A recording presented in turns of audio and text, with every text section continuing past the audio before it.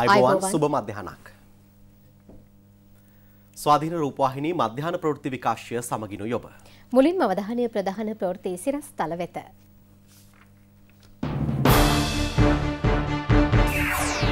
Port සිටියේ කොටසක් ජනතාවට විවර වෙයි. කොරෝනා මර්ධන සියලු එන්නත් අප සතුයි සෞඛ්‍ය කියයි. හෙට සිට සෑම දරුවෙකුටම පාසැල් දොරටු විවෘතයි. පානදුර සලඳුගේ ගෝලයකු පොලිස් දැලේ. කොරෝනා මරණ අවම කරගන්න එන්නත ගන්න බ්‍රතාන්‍ය අගමැති ඉල්ලයි.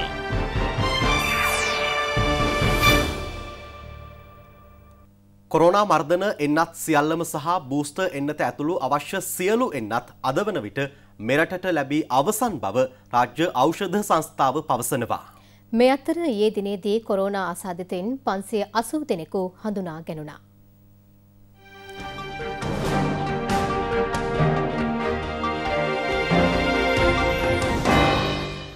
ඊයේ දිනේදී මෙරටින් වාර්තා වූ කොරෝනා ආසාදිතයන් 580 දෙනා සමග මෙරට සමස්ත කොරෝනා ආසාදිතයන් සංඛ්‍යාව 511231ක්. රෝහල්ගතව සහ නිවාසවල පුද්ගලයන් 9183 දෙනෙකු ප්‍රතිකාර ලබනවා. 566936 දෙනෙකු පූර්ණ සුවය ලබා තිබෙනවා. ඊයේ දිනේදී වාර්තා වූ මරණ 13ත් සමග සමස්ත කොරෝනා මරණ සංඛ්‍යාව 15112ක් බවට පත් වුණා. පසුගිය වසරේ ජනවාරි 18 වනදා ජනාධිපති ගෝඨාභය රාජපක්ෂ මැතිතුමා ලබා දුන් උපදෙස් වලට අනුව කොරෝනා මර්ධන එන්නත් මෙරට වෙත ආනයනය කිරීමේ වගකීම රාජ්‍ය ඖෂධ සංස්ථාවට පවරුම් ලැබුවා. ඒ අනුව අද වන විට මෙරටට අවශ්‍ය සියලුම එන්නත් ගෙන්වා ඇති බවයි එම සංස්ථාව පවසන්නේ. ඇස්ට්‍රාසෙනෙකා, මොඩර්නා, ස්පුට්නික්, සයින්ෆාර්ම් සහ ෆයිසර් යන එන්නත් ඖෂධ සංස්ථාව මගින් මෙරට වෙත ගෙන්වනු ලැබුවා. මුළු මාත්‍රා ගණනින් මිලියන 6.8ක් ආධාර වශයෙන් ලැබුණු බවයි Facebook සටහනක් තබමින් රාජ්‍ය ඖෂධ සංස්ථාවේ සභාපති විශේෂඥ වෛද්‍ය ප්‍රසන්න ගුණසේන මහතා ප්‍රකාශ කළේ. හෙට සිට පාසල් පද්ධතිය සාමාන්‍යකරණය කිරීමත් සමග එය අකණ්ඩව පවත්වාගෙන යාමට දරුවන්ට එන්නත් ලබා දීම අත්‍යවශ්‍ය බව කොරෝනා නිවෙස්ගත ප්‍රතිකාර ක්‍රමයේදී ප්‍රධානී විශේෂඥ වෛද්‍ය මල්කාන්ති ගල්හේන මහත්මිය පවසනවා. කෙසේ වුවද අනියත බියක් ඇති කර නොගෙන එස්නහා දරුවන් යොමු කරන ලෙසයි ඒ මහත්මිය ඉල්ලා සිටින්නේ. දරුවන් සුපුරුදු ලෙස අවුරුදු දෙකක පමණ කාලෙකින් පසුව නැවත ඔවුන්ගේ අධ්‍යාපන කටයුතු සඳහා පාසලට එන්න සියලු කටයුතු රජය විසින් සූදානම් කරලා තියෙනවා. මේ අවස්ථාවේදී රජය විසින් අවුරුදු 12කට වැඩි දරුවන් සඳහාම එන්නත් ලබා දීම ආරම්භ කරලා තියෙනවා. නමුත් සමහර දෙමව්පියන්ට මේ ගැන තියෙන අවබෝධය මදිකම නිසා හෝ සමාජයේ තියෙන නොයෙකුත් මිත්‍යා මත නිසා ඇත්තටම දරුවාට මෙම එන්නත දෙනවද නැද්ද කියලා තීරණය තාම අරගෙන නැතුව ඉන්න දෙමව්පියෝ ඉන්නවා. එන්නත් කරණය සඳහා නොපමාව තමාගේ දරුවාට එන්නත ලබා දීමට කටයුතු කරන්න කියන පණිවිඩය ඇත්තටම ගුරුවරයා හරහා යනවා නම් ඒක ඊ타මත්ම වැදගත් වෙනවා. මොකද මේ රෝගයෙන් ආරක්ෂා වීමට අපි සමාජයේ සිටින සෑම තරාතිරමකම වයස පරතරකින් තොරව කටයුතු කරලා ඒ සඳහා අවශ්‍ය ක්‍රියාමාර්ග ගත යුතු නිසා.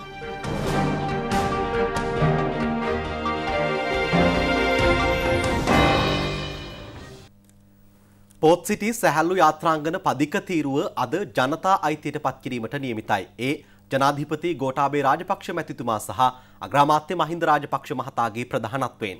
දෙදින නිල සංචාරයක් සඳහා ඊයේ දෙවයිනට පැමිණි චීන විදේශ අමාත්‍ය වැන් යී මහතා ඇතුළු දූත පිරිසද මෙම අවස්ථාවට සහභාගී වීමට නියමිතයි. දෙස්විදෙස් සංචාරකයන්ට නවමු අත්දැකීමක් එක්කරමින් මෙම සැහැල්ලු යාත්‍රාංගන පදික තීරුව ජනතා අයිතියට පත් කරනවා. ජනාධිපති ගොඩාබේ රාජපක්ෂ මැතිතුමා සහ අග්‍රාමාත්‍ය මහින්ද රාජපක්ෂ මහතාගේ ප්‍රධානත්වයෙන් පැවැත්වෙන උත්සවයට චීන විදේශ අමාත්‍ය වෑන්ග්‍රී මහතා ඇතුළු දූත පිරිසද එක්වීමට නියමිතයි. අධියර කිහිපයක් යටතේ ආරම්භ කෙරුණු පාසල් හෙට සිට සුපුරුදු පරිදි පවත්වාගෙන යාමට අධ්‍යාපන අමාත්‍යංශය තීරණය කර තිබෙනවා. ඒ අනුව දරුවන් පාසල් වෙත යොමු කරන ලෙසයි අධ්‍යාපන අමාත්‍යංශය දෙමව්පියන්ගෙන් ඉල්ලා සිටින්නේ. සියලුම සෞඛ්‍ය ආරක්ෂිත ක්‍රමවේද අනුගමනය කරමින් පාසල් කටයුතු පවත්වාගෙන යා යුතුයි. ඒ වෙනුවෙන් අවශ්‍ය උපදෙස් විදුහල්පතිවරුන්ට යොමු කර ඇති බව අධ්‍යාපන අමාත්‍යාංශය සඳහන් කරනවා. පාසල්වල ආපන ශාලා විවෘත කර නොමැති බැවින් දරුවන්ට අවශ්‍ය සියලු ආහාර නිවෙස් වලින් රැගෙන එන ලෙසයි දැනුවත් කෙරෙන්නේ. කොරෝනා විසනය හේතුවෙන් කල් දැමුණු විභාග දින නියම කර පරිදි පැවැත්වීමටද කටයුතු යොදා තිබෙනවා. උඩරට එළවලු වර්ග රටපුරා බෙදා හරින ප්‍රධානතම ආර්ථික මධ්‍යස්ථානය වන කැපිටිපොළ විශේෂිත ආර්ථික මධ්‍යස්ථානයේ එළවලු මිල පහත වැටී තිබෙනවා. දින තුනක කාලයක සිට මේ ආකාරයෙන් එළවලු මිල අඩුවගයක් ගන්නා බවයි කැපිටිපොළ විශේෂ ආර්ථික මධ්‍යස්ථානයේ වෙළඳ සංගමේ ලේකම් මහින්ද ප්‍රේමසිරි ඒකනායක මහතා පවසන්නේ. ඒ අනුව රුපියල් 250ක පැවති අර්ථාපල් කිලෝ එකක වත්මන් මිල රුපියල් 180ක් වනවා. බෝංචි කිලෝග්‍රෑමයක් මේ වන විට රුපියල් 240ක් වන අතර එය පෙර අලෙවි වූයේ රුපියල් 310කටයි. රුපියල් 210කට අලෙවි වූ ගෝවා කිලෝ එකක් අද අලෙවි වූයේ රුපියල් 110කටයි. අමුමිරිස් කිලෝවක් පෙරදී අලෙවි වූයේ රුපියල් දහසකට වුවත් මේ වන විට ඒ රුපියල් 500 දක්වා අඩු වී තිබෙනවා. රුපියල් 600ක්ව පැවති මාල්මිරිස් කිලෝවක වත්මන් මිල රුපියල් 450ක්. තක්කාලි කිලෝක වත්මන් මිල රුපියල් 120ක් වන අතර එය මින් පෙර අලෙවි වූයේ රුපියල් 180කටයි. රුපියල් දෙසිය පණහක් තිබූ වම්බට කිලෝග්‍රෑමයක වත්මන් මිල රුපියල් එකසි අසුවක් ලෙස අඩුවී තිබෙනවා. මේ වන විට පාරිභෝගිකයන් එළවලු මිලදී ගැනීම අඩුවී ඇති බැවින් මෙලෙස එළවලු මිල පහත වැටි ඇති බවයි කැප්පිටිපොළ විශේෂ ආර්ථික මධ්‍යස්ථානයේ වෙළඳ සංගමේ ලේකම් මහින්ද ප්‍රේමසිරි ඒකනායක මහතා පවසන්නේ. අද කැපරවල විශේෂ ආර්ථික මධ්‍යස්ථානට එළවලු සාමාන්‍ය ප්‍රමාණයක් පැමුණුණත් බාහිර වෙළෙඳ පැමිණීම ඉතාමත් අඩු මට්ටමක පවතින්නේ කෑලි 10ක් ගෙනියන එක අද කෑල්ලක් දෙකක් වගේ ගෙනියන්නේ වෙළඳාම සිදු නොවීම මත එළවලු මිල ඉතාමත් අඩු මට්ටමකට පත් වුණා. මේ අතර තමුත්තේකම ආර්ථික මධ්‍යස්ථානයේද එළවලු මිල පහළ යාමක් අද දැකගත හැකි වුණා. බඩු ටිකක් ගොයියන්ගේ ආවා ආවට මොකද වෙළඳ නෑ බඩු ගන්න. ඒකෙන් බඩු මිල පොඩ්ඩක් පහත වටනවා. මේ සාමාන්‍යයෙන් අද 180යි කැරට් 330යි වගේ. බිස්නස් නම් අඩුයි වෙළඳ නැහැ. අනිත් දවස්වලට සාපේක්ෂව ටිකක් ගණන් අඩුයි. යහපාලන ආණ්ඩුව සමයේදී සිය අස්වනු විකුණා ගැනීමට නොහැකිව මහපාරට බැස උද්ඝෝෂණ කිරීමට සිදුවද වත්මන් ජනාධිපතිතුමාගේ නායකත්වය යටතේ සිය අස්වනුවලට ඉතා සාධහරණ මිලක් ලැබී තිබෙන බව ගම්මිරිස් වගාකරුවන් පවසනවා. ගම්මිරිස් වගාකරුවන් මුහුණ පෑ ගැටලු රැසකට ජනාධිපති ගෝඨාභය රාජපක්ෂ මැතිතුමා බලයට පත්වීමෙන් පසුව විසඳුම් ලබා දීමට කටයුතු කළා. ඔවුන්ගේ නිෂ්පාදන සඳහා ස්ථාවර මිලක් ලබා දෙමින් 2,50,000කට අධික වූ ගම්මිරිස් වගාකරුවන්ට සහන සැලසීමටයි කටයුතු කෙරුණේ. ගොඩකවෙල බුලත්ගස් ආර සහ පල්ලේකන්ද ගම්මානවල ගොවි ජනතාව රජයෙන් ඉල්ලා සිටින්නේ සිය අස්වනු වෙළඳපොළට රැගෙන යාමට අබලන්ව ඇති මාර්ග සකස් කර දෙන ලෙසයි. ගම්බිරිස් මිල සාමාන්‍යයෙන් තත්ත්වයේ 480 මිලක් තිබුණා. ඒ මිල දැන් මේ කාලේ වෙනකොට 1170 මිලක් තියෙනවා. ඇත්තෙන්ම ජනාධිපතිතුමාට ස්තුතිවන්ත වෙනවා. ඒ වගේ මිලක් දැන්ට තියෙන එක. දැන්ත පවතින රජයෙන් හොඳ ගම්බිරිස් වලට හොඳ මිලක් ලැබිලා තියෙනවා. ජීවනෝපාය මාර්ගයේ විදිහට අපි කරන්නේ ගම්බිරිස් වගාව.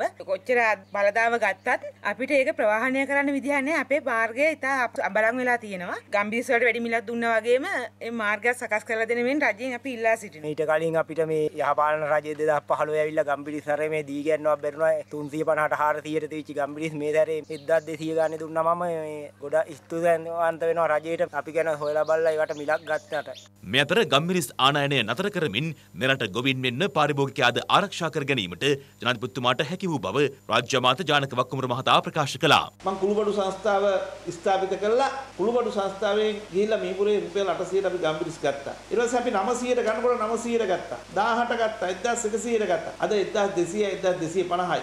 ගම්බිරිස් කිලෝ එකක් යහපාලන ආණ්ඩු කාලේ විකුණපු ගොවියගේ අතට ඒ වගේ තුන් ගුණයක් අද මුදල් හම්බෙලා තියෙනවා. කුරුදු ගොවියට රුපියල් 1400ට තිබිච්ච කුරුදු අද 2800යි. එකට එකක් මිල වැඩි වෙලා තියෙනවා. සත් ජනාධිපතිතුමාගේ දැක්ම තමයි ගොවියගේ නිෂ්පාදනයට සාධාරණීකරණයක් කරන්න ඕන. අපරාධ කල්ලි සමාජිකයෙකු බව කියන පානතුර සලිඳු නැමැත්තාගේ ගෝලයෙකු කේරළ ගංජා තොගයක් සමග වාතුව ප්‍රදේශයේදී අත්අඩංගුවට ගැනුණා.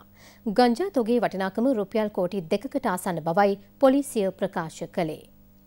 පොලිස් මද්‍රව්‍ය නාශක කාර්යාංශයට ලැබුණු තොරතුරකට අනුව වාදුව වස්කඩුව ප්‍රදේශය කළ වැටලීමකදී මෙම පුද්ගලයා අත්අඩංගුවට ගැනුණේ. කුඩා ප්‍රමාණයේ වෑන් රථයකින් ප්‍රවාහනය කරමින් තිබූ කේරළ ගංජා කිලෝ හැටකට වැඩි ප්‍රමාණයක්ද සොයා ගැනුණා. ඒවායේ වටිනාකම රුපියල් කෝටි දෙකකට ආසන්න බවයි පොලිසිය ප්‍රකාශ කළේ. ජාවාරම් කළ බව කියන මුදල් රුපියල් ලක්ෂ හතක්ද ඔහු ළඟ තිබී සොයා ගැනුණා.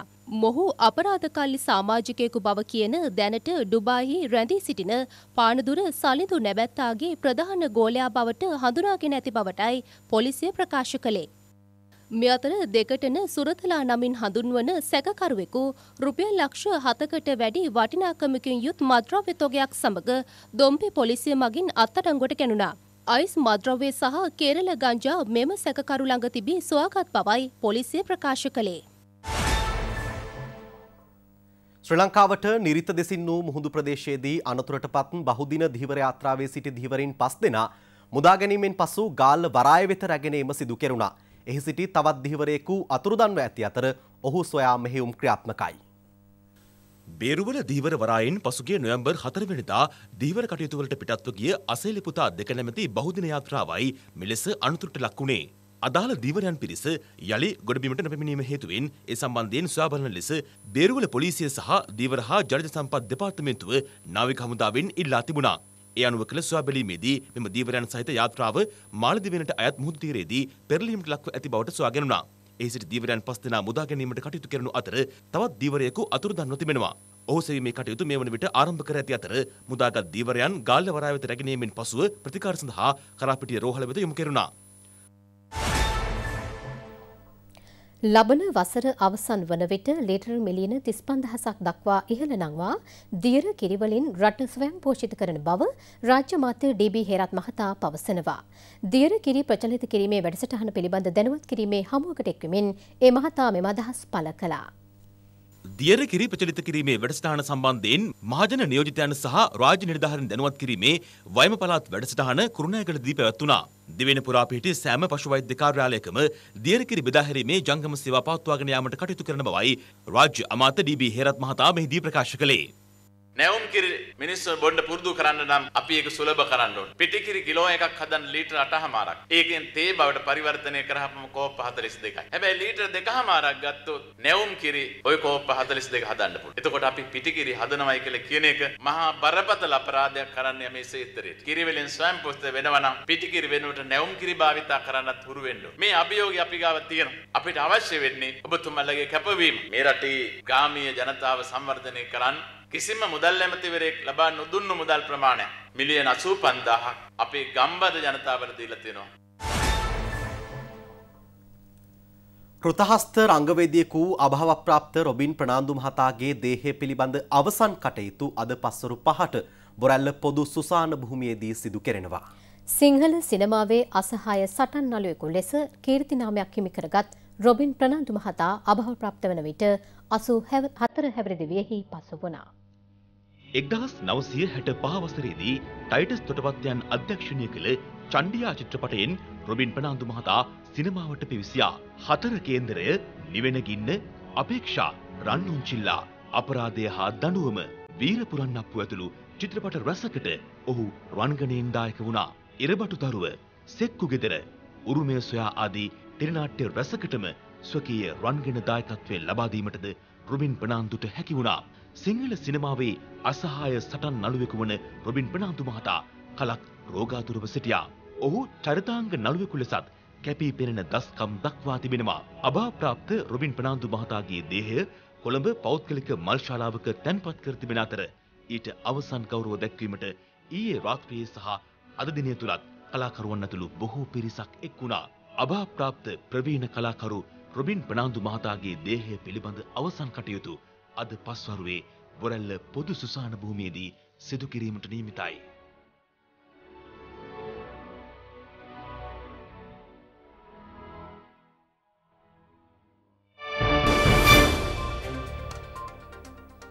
මද්‍රව්‍ය රැගෙන ශ්‍රීපාද වන්දනාවේ ගිය තරුණයින් දහ අට දෙනෙකු අත්අඩංගුවට ගත් බව හැටන් පොලිසිය පවසනවා. හැටන් මාර්ගය ඔස්සේ ශ්‍රීපාද වන්දනාවේ පැමිණි පුද්ගලයන් පරීක්ෂා කිරීමට පොලිසිය කටයුතු කළා. ඒ ස්ථාන කිහිපයකදී මාර්ග බහදක යොදමින්. ගංජා මද්‍රව්‍ය සන්තකයේ තබාගෙන සිටි තරුණයන් 18 දෙනෙකුයි මෙලෙස අත්අඩංගුවට ගෙන ඇත්තේ. හැටන් කොට්ටාස දූෂණ මර්ධන ඒකකයේ සිදු කළ පරීක්ෂා කිරීමකදී ඔවුන් අත්අඩංගුවට ගෙන තිබුණා. හැටන් පොලිස් කොට්ටාශ සුනකාංශයේ ස්ටුවර්ට් සුනකයාගේ සහයද මේ සඳහා ලබා ගැනුණා. අත්අඩංගුවට ගත් සැකකරුවන් හැටන් මහේස්ත්‍රාත් අධිකරණය වෙත ඉදිරිපත් කිරීමට නියමිතයි.